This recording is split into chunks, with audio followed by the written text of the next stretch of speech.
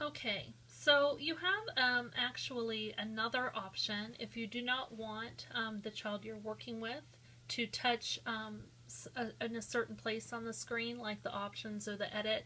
You can also use guided access to help you with that and obviously guided access also helps you so that they cannot press the home button and close out Proloquo2Go when you're working with them.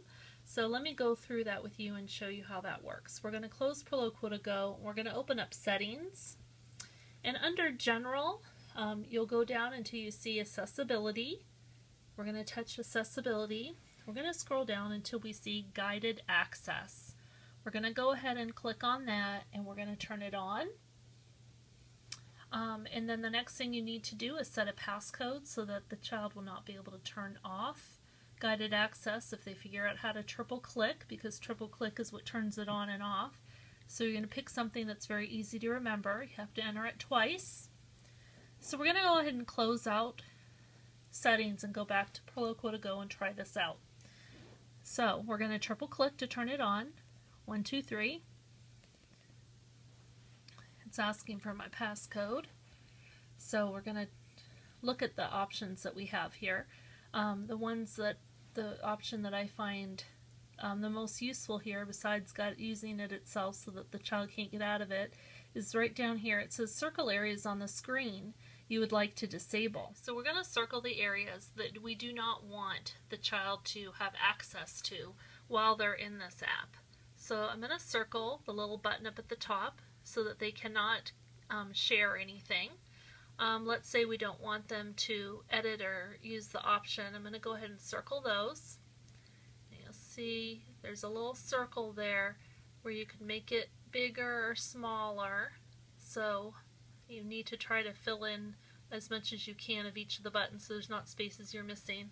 And let's say uh, we don't want them to have access to that um, options, the, the, the view options either.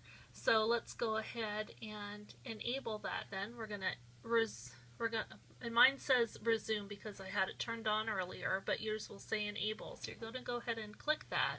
And now as you'll notice down at the bottom, these are grayed out.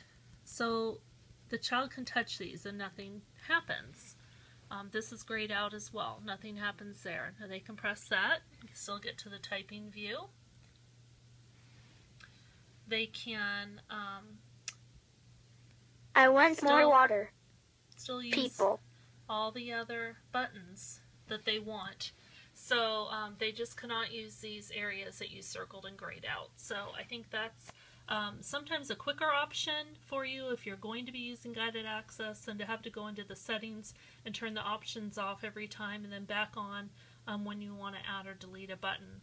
So if you want to just quickly, um, you think of a button that you want to add, then you can just quickly triple click,